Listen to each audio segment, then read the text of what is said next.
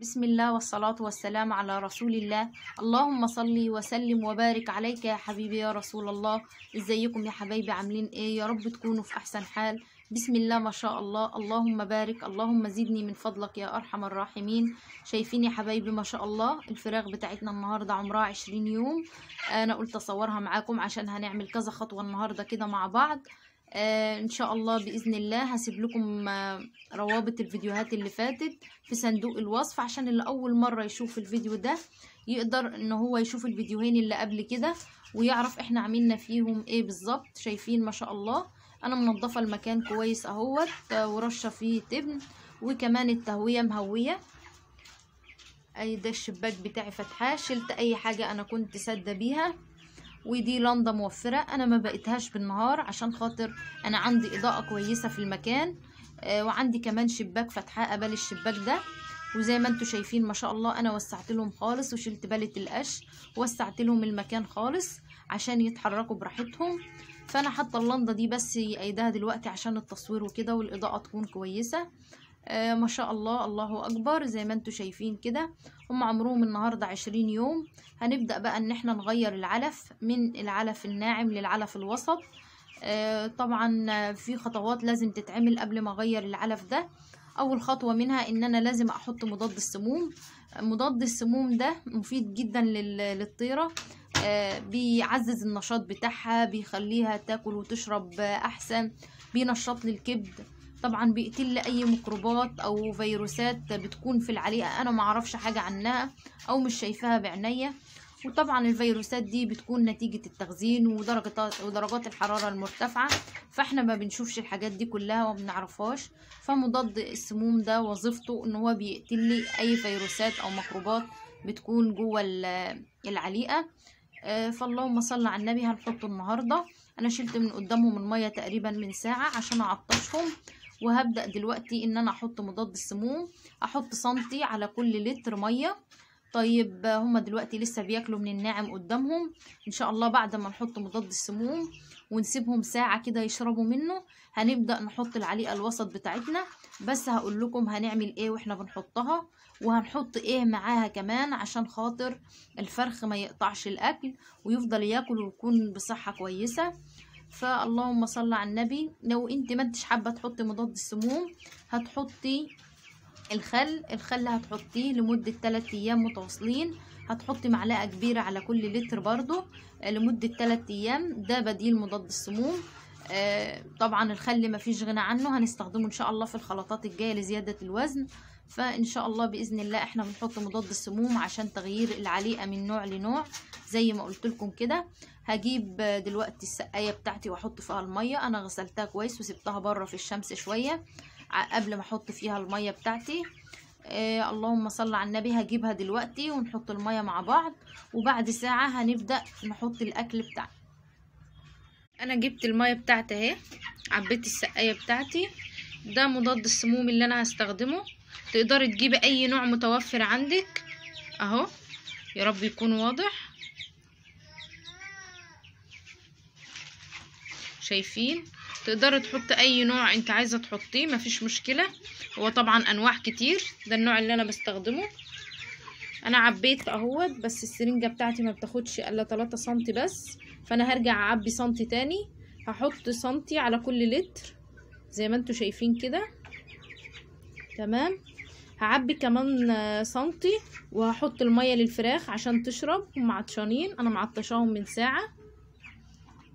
أنا حطيت لهم المية أهو زي ما أنتوا شايفين كانوا عطشانين جدا. بس عشان خاطر أنا هعلف العليقة كمان ساعة. فلازم اعطشهم كده عشان ابقى ضامنة ان هم شربوا من المية اللي فيها مضاد السموم. السقاية دي بتاخد أربعة لتر فأنا حطيت عليها أربعة سنتي. أنا رجعت زودت كمان سنتي وقلبت كويس في المية وحطيته لهم. إن شاء الله من بكرة الصبح هحط كمان سقاية مية على ما بس مضاد السموم ده يخلص عشان ما يتبقاش منه حاجة. هحط بكرة إن شاء الله كمان سقاية مية يشربوا منها والنهاردة هزود كمان علافة عشان بحيث إن هما يتقسموا على السقايتين والعلافتين وما يتكوموش على بعض ويكون كل كام فرخ كده قاعد بياكل في جنب لوحده يتوزعوا على السقايات والعلافات. طيب خلاص كده أنا حطيت المية آه، إن شاء الله يشربوا منها ونبدأ نعلف. طيب هعمل إيه بقى؟ أنا جايبة معايا أهو. بسم الله. العلف آه وسط على ناعم زي ما أنتوا شايفين كده. أنا جبت آه، أربعة كيلو علف ناعم وحطيت عليه اتنين كيلو علف وسط. الخطوة دي بجد رائعة جدا. آه أنا كان دكتور بيطري هو اللي قايل لي عليها. كنت بقطع العليقة عن الفراخ. يعني أجوعهم جامد وبعد كده أبدأ أحط لهم الوسط. كان ممكن يقعدوا لتاني يوم من غير أكل خالص يقعدوا يوم سليم من غير أكل ويبدأ الفرخ يخس. آه، قال لي لا ما تعمليش كده. انتي لازم آه، تحطي كمية من العلف الناعم على الوسط وتديهولهم ياكلوه بس يكون الناعم أكبر كميته كبيرة عن الوسط وتسيبيهم آه، ياكلوا. هينقوا ال- العليقة الناعمة وهيسيبوا العليقة الوسط مفيش مشكلة خالص. فاللهم صل على النبي. دي خطوة كويسة جدا آه، يا ريت كلنا نعملها. آه، لما تيجي تغيري من نوع عليقه لعليقه تسيبي جزء من العليقة الأولانية وتقلبيها على العليقة اللي انت لسه هتحط لهم منها بحيث ياكلوا اللي هم متعودين عليها على ما ياخدوا يتعودوا على شكل التانية ويبدأوا ياكلوا منها. يبقى انت كده ما وقفتيش الفراخ وتبقى الفراخ ما قطعتش الأكل وتبقى هي بتاكل ما وقفتش عن الأكل. هقلب بقى العليقة كلها ببعضها كده. كويس. أربعة كيلو من العليقة الناعمة على اتنين كيلو من العليقة الوسط. زي ما أنتوا شايفين كده أهي. هحطهم في شكارة عندي وهعلف منها الفراخ. أهو هما لسه بيشربوا.